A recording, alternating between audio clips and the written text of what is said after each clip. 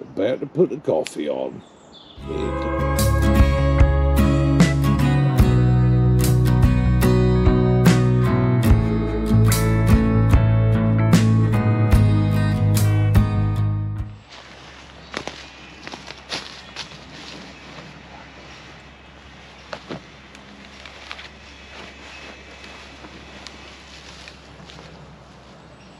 Hi guys, welcome to Hampshire Outdoors and Survival. Mickey here.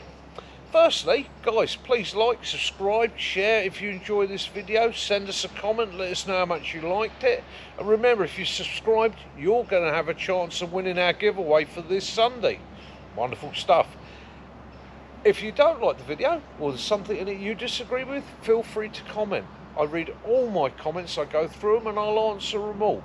So let me know what you think. The feedback's helpful for me and for Matt. It helps us with our morale. Morale. It also gives us an idea of where you guys want us to take this. Okay. One of the most difficult things for any anybody producing these sort of videos is there's always that doubt in your mind. Am I producing what people want to see?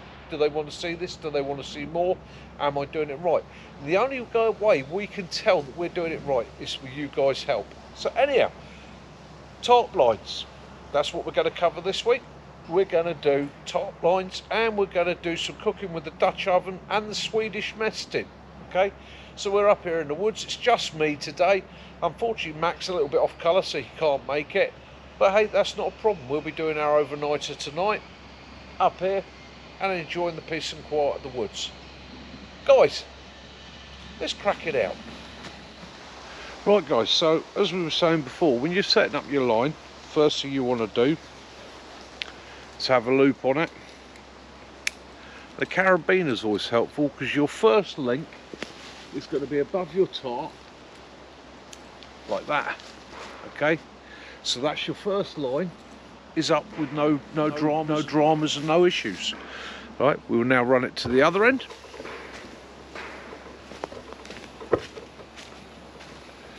Well that was a bit of luck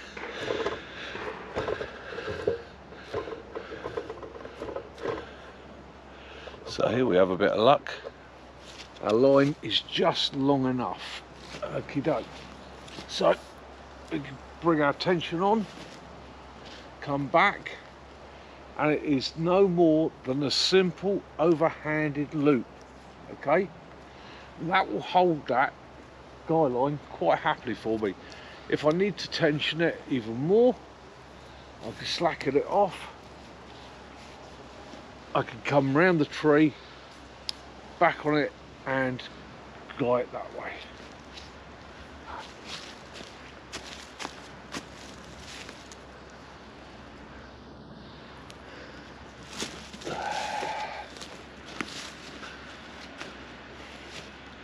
So we're going to run our guy line out, make it good and taut. However, we discovered a problem we haven't got quite enough rope so what can we do? So our line isn't quite long enough for us to get a good wrap so what we can do we can form a simple loop off of the tree here okay? Or we could put one of our spare bits of paracord in form a loop off of that come back round the tree come back through that loop and what this does I puts four strands there because I've never put tension on this cord okay? That's that cord there. Now I come out simple overhand loop okay? Hope you can all see that. Pull it back another simple overhand loop behind it that acts as my lock okay now this whole thing can be undone simply by pulling that. Okay, so again, simple overhand loop, okay, which gives you a running tail, which is this end. Come up, simple overhand loop again. That provides me with a lock. I can pull that up, and if I want to make doubly sure that that's not going to go anywhere in the night, I can place a stick in that and lock it off like that. Easy peasy. lemon squeezing. I can take. So we've made our extension loop there. Okay. So what we can do, we can come up our main line and create a simple overhand loop like that.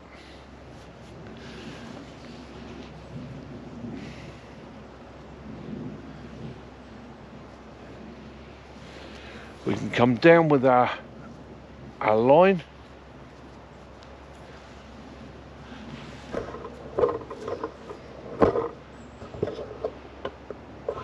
Come back through our loop and we've created a winch. Now with quite little effort because we've created a winch and a pulley we can get a huge amount of tension on that line. You come over with a simple overhand knot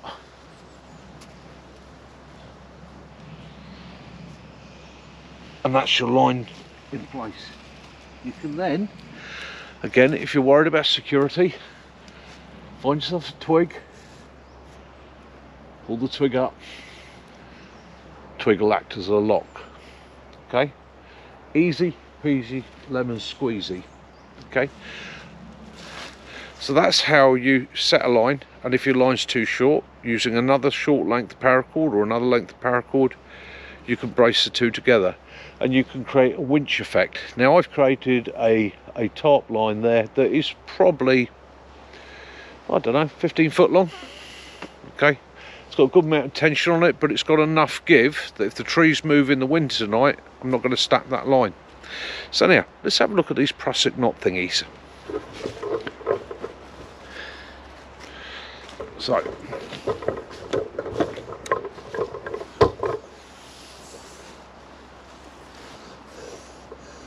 these are my prusik knots okay?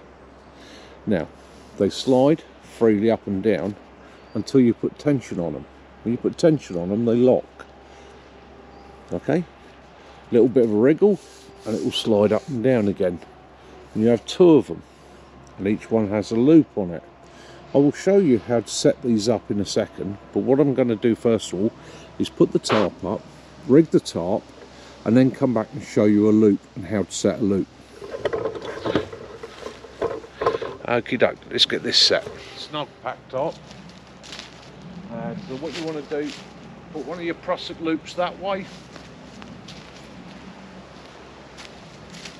The other prusik loop out that way. Right guys, so we're going to be using a Snugpak um, tarp.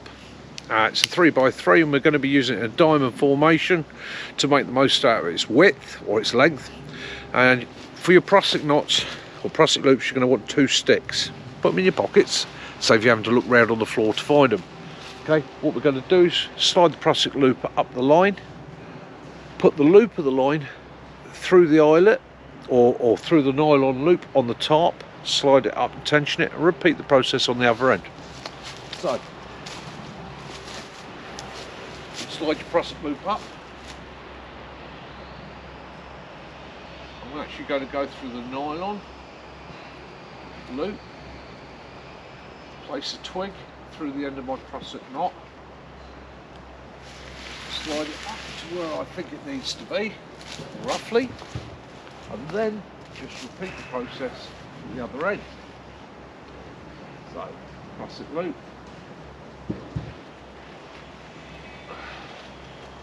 through the top, stick, tension out. Now you want to pay attention at this point to where your tarps, where your hammock sits under your tarp. You want to be fairly central. And the nice thing with this system is you can adjust it easily.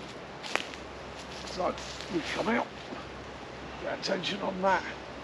Nice. Nice. So as you see, the tarp is now up and we've got a bit of tension on it. And again, the tension's on the tarp, the line's supporting it. Because the line's underneath it, anything drops on it in the night, that line's going to help to support it. Okay, if you've got the tarp underneath it, yeah, you just got the, the material of the tarp itself supporting it, giving it strength. Right, I'm going to peg this shelter out now and uh, get on with it.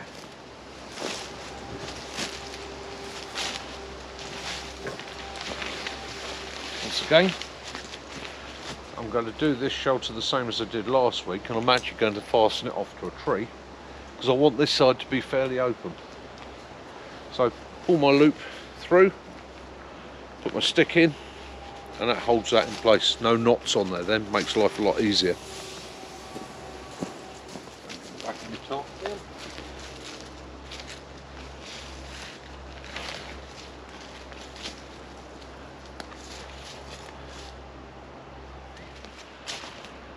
Voila. So we've got our shelter organised for tonight. Got nice view. It's not going to be, it's going to be chilly. It's not going to be wet tonight. So I've got this shelter rigged, so I can drop that a little bit when I hit the sack. Okay, that's going to give a little bit of a lean there. There's a nice lean there. It's well away from my my hammock. So it's going to give me the protection I need from the weather. And I want a little bit of air around me tonight because I'm trying out this new kit. So if it's going to be cold, I want to learn that it's cold got to put yourself through it to do it. So prusik loop, you can all see the, the line there. So that, that would be a line that you tensioned out. So take a piece of cordage, tie an overhand knot in it and shank it down to about an inch at the end like that. You've got two little tails there don't need the tails but it gives you a little bit of leeway and that creates just a simple loop now take your main line the one that you want it to slide up and down form a loop in it go through the center go through the center once go through the center twice you can go through three times but I find twice tends to be enough and tension up okay and what that does that forms the prusik knot. Now, to slide a prusik knot, you loosen it off. You roll it in your fingers and it will slide. Okay? As soon as you put weight and tension on it, the friction will lock it. And you won't move it. Okay? But as soon as you need to move it again, you take the pressure off of it and it will slide. Put the pressure on and it will lock. Simple as that. Take it off. Now, if you really want to make it secure, like I say, you can come round. You can put a third loop into it. Okay. And you see what it does, it starts to lengthen it out. Again, slides up and down, locks off as soon as you put pressure on it. Okay. So now, this end comes through the loop on your tarp you lock that off with a stick you can slide this and tension your top. You can release it it slides down. And like I say on climbers ropes this loop would have been fastened to them. They can slide it up put weight on it it locks slide it up put weight on it it locks slide it up. Okay so it was a climber's knot. Very simple very efficient. And when you want to take it off I mean I tend to leave mine on the the lines but if you want to take it off you literally unwind it okay? So really it's not a knot it's a hitch because it can be released okay? I'll go through that one more time. Take a loop. Go over the main line okay? Through the pass it through the center of itself. Through the center of itself. We'll do it three times okay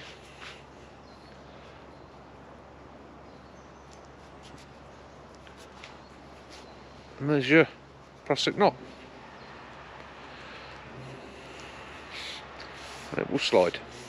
It's a great system for doing your tarp lines. It's a great system for doing anything where you need to apply tension to a line. So you want to pull something along a line.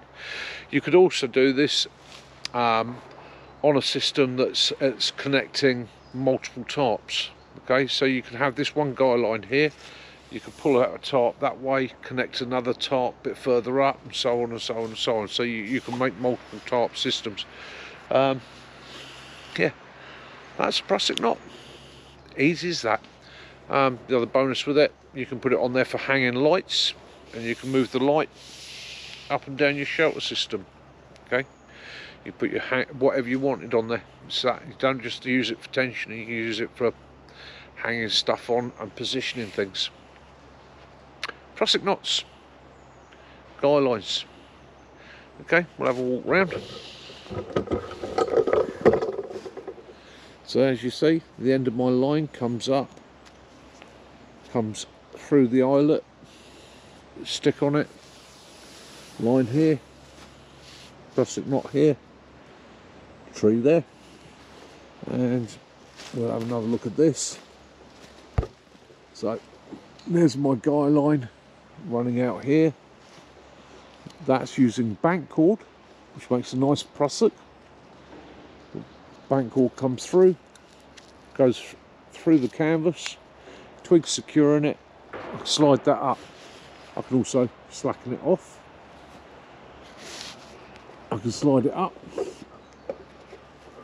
put tension on it, and it's going to stay there all night. There's my hammock set up. Come up to the other end as well, have a look at that. And hopefully if it all came out on the video, so what you see there, Prusik's fastened there, Prusik slides up to there. Tensioning system here, second line there, safety sticks in. Simple as that. And again, if it rains and it comes down onto these, it'll only run as far as these. It'll run down them, hit this, run down this, hit that because it's going to follow gravity and it comes off. And my lines are all under my top. Right, I'm going to get a fire going and put coffee on. So now what we're going to do, we're going to process some timber. And we're going to use my old favourite, British Army survival knife. And what we're going to do, we're going to process some, process some logs give us some kindling. Um, yeah, these were brought in, these are pine logs, everything's very wet up here. So I brought in a little bit of pine just to give me a bit of an advantage.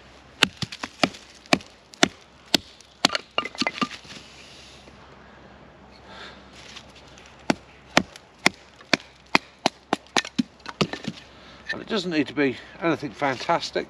There's plenty of um, small twigs. I just wanted something mid-range, something just to get an initial bit of heat.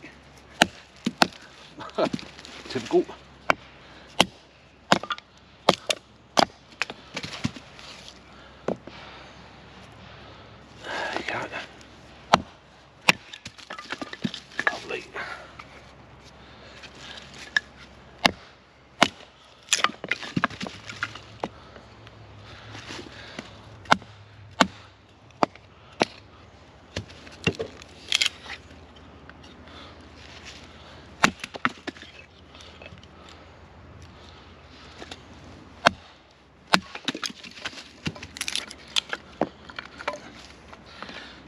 Go. That will be the basis of our fire.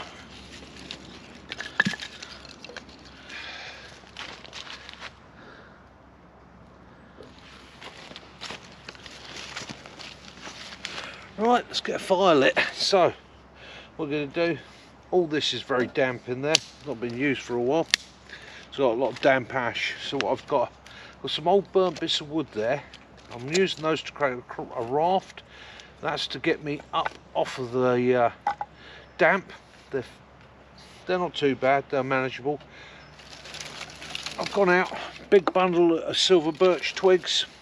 I've got a few pine twigs and that and we're going to make our fire. So we'll get this going and then later on we can make some bannock bread and get going. So what I'm going to use is a ferro rod and a tampon Come on guys, don't get upset.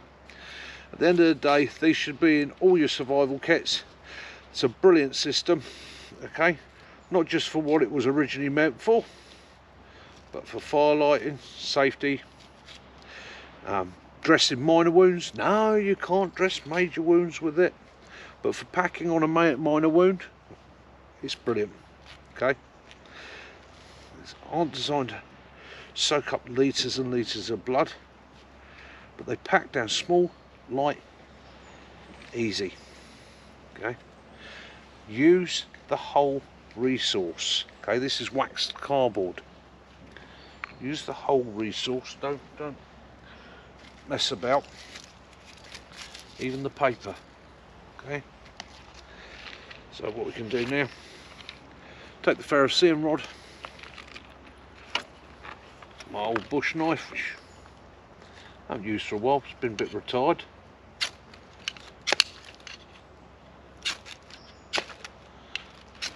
Find a nice bit of fluff.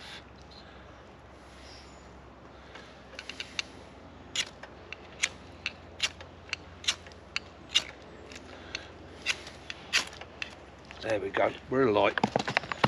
Okay, that. Place a silver birch bundle onto it.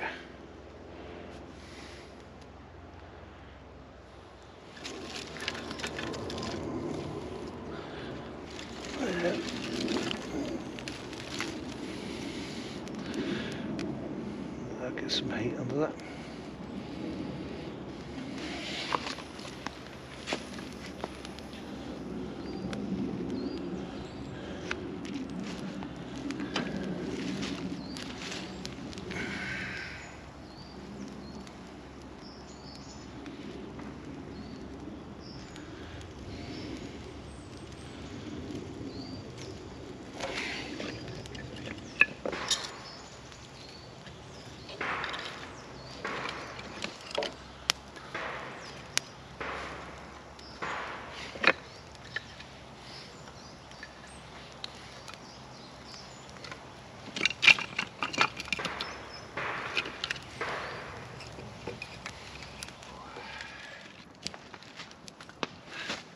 Oh.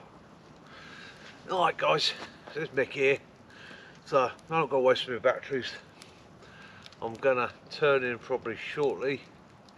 It's a, it's a beautiful night. In fact, I say turn in shortly. I'm to let this fire die down before I turn in. Um, but uh, that's it. I don't want to waste the batteries on the, the lamp and that. So, I'm to say good night now. Sleep well wherever you are. Have a peaceful one. And uh, yeah, I'll see you in the morning. And as I said in the past, I don't do video shots of me getting out of bed. I don't do video shots of me in bed. It's don't see the point in that. You don't want to see me in my boxes. You know I'm up here sleeping in the hammock. And you definitely don't want to see me very first thing in the morning. So I'll see you in the morning when I make the brews. Um, yeah, so I should get up tomorrow morning. I should make a brew. Um, I think I'm going to have noodles for my breakfast. Um, that'll set me up for the day, fuel me up. And I'll do those in the Swedish cook set. Anyhow guys, have a peaceful night. Mickey out.